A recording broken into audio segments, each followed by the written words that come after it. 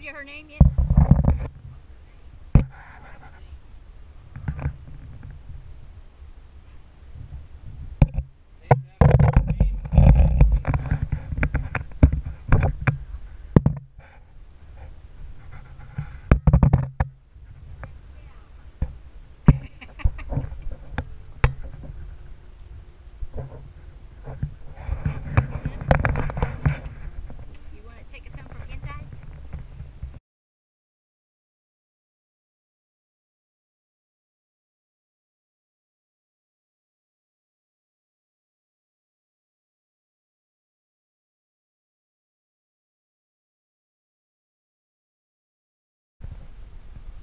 week.